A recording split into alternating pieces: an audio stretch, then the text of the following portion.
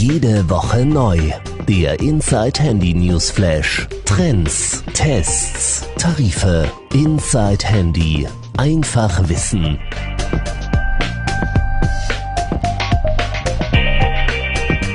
Die vergangene Woche stand ganz im Zeichen des Mobile World Congress in Barcelona, der größten Handymesse der Welt. Neben den dort präsentierten neuen Smartphones und Tablets sorgten aber auch weitere Ankündigungen und Neuigkeiten für Gesprächsstoff in der Mobilfunkbranche. So zum Beispiel die angekündigte Allianz von Nokia und Microsoft.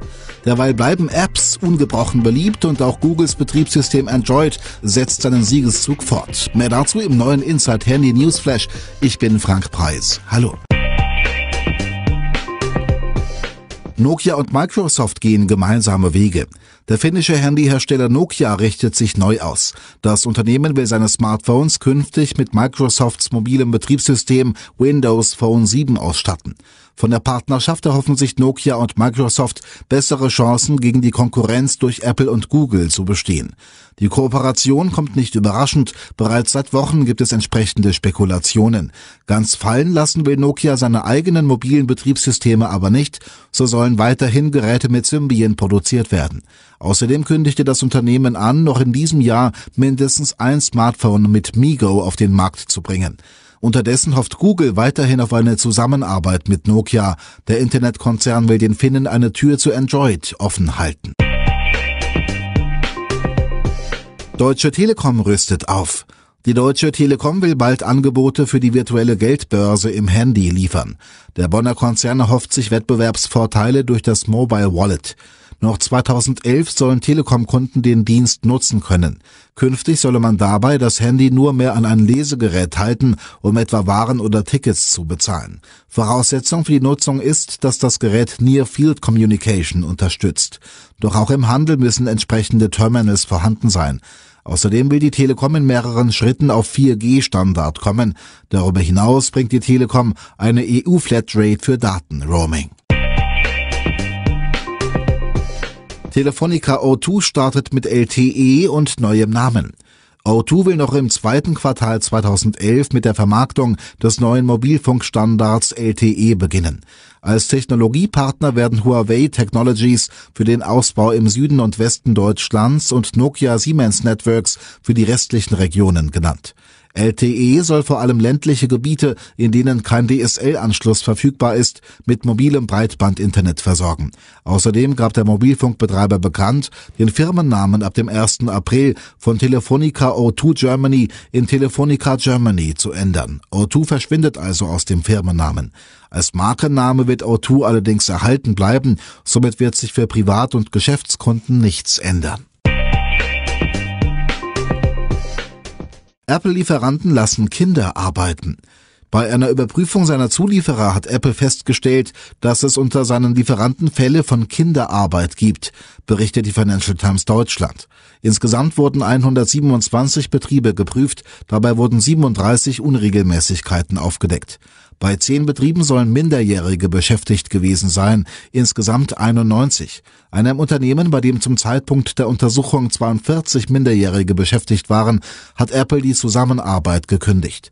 Von den anderen Betrieben forderte der Konzern bessere Kontrollen bezüglich des Alters ihrer Mitarbeiter. Ebenfalls bemängelt wurde der fahrlässige Umgang mit gefährlichen Chemikalien. So sollen in einem Betrieb insgesamt 137 Arbeiter in unzureichend belüfteten Räumen mit der Chemikalie N-Hexan gearbeitet und gesundheitliche Schäden davongetragen haben. LG will 3D-YouTube aufbauen. LG hat eine Partnerschaft mit dem Videoportal YouTube bekannt gegeben, die Usern ein umfassendes mobiles 3D-Erlebnis ermöglichen soll. Denn kommende Android-Geräte des Elektronikkonzerns werden Nutzern die Möglichkeit bieten, 3D-Videos über das Webportal zu teilen sowie Content von dort zu beziehen. Den Anfang soll das 3D-fähige Smartphone Optimus 3D machen.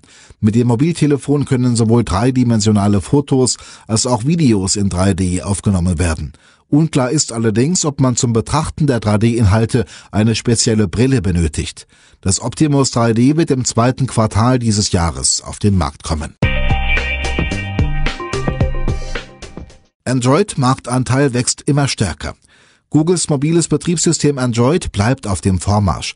Nach aktuellen Zahlen des Elektronikforschungsunternehmens GfK Retail and Technology hält der Konzern derzeit rund ein Viertel des Marktanteils in Europa. Zum Vergleich, Anfang 2010 waren das nur fünf Prozent. Das ungewöhnlich starke Wachstum war auch in anderen Regionen zu beobachten, zum Beispiel in Asien und Lateinamerika. Die Marktforscher gehen davon aus, dass Android seinen Marktanteil auch in den kommenden Monaten aufrechterhalten wird. Apps bleiben der Renner. Die deutschen Handynutzer haben im Jahr 2010 rund 900 Millionen mobile Anwendungen auf ihre Mobiltelefone geladen. Damit hat sich die Zahl der App-Downloads im Vergleich zum Vorjahr mehr als verdoppelt. Das berichtet der Hightech-Verband Bitkom. Im Jahr 2010 waren fast 90 Prozent aller in Deutschland heruntergeladenen Apps kostenlos. Mit den 110 Millionen kostenpflichtigen Apps wurde im Jahr 2010 ein Umsatz in Höhe von 357 Millionen Euro erzielt. Das entspricht einem Plus von 88 Prozent im Vergleich zum Vorjahr. Der Durchschnittspreis der Bezahl-Apps lag bei 3,25 Euro. Treiber der App-Downloads ist die steigende Verbreitung von Smartphones und Tablets. Das war der Inside Handy News Flash. Woche für Woche die neuesten Trends, Tests und Tarife. InsideHandy.de. Einfach wissen.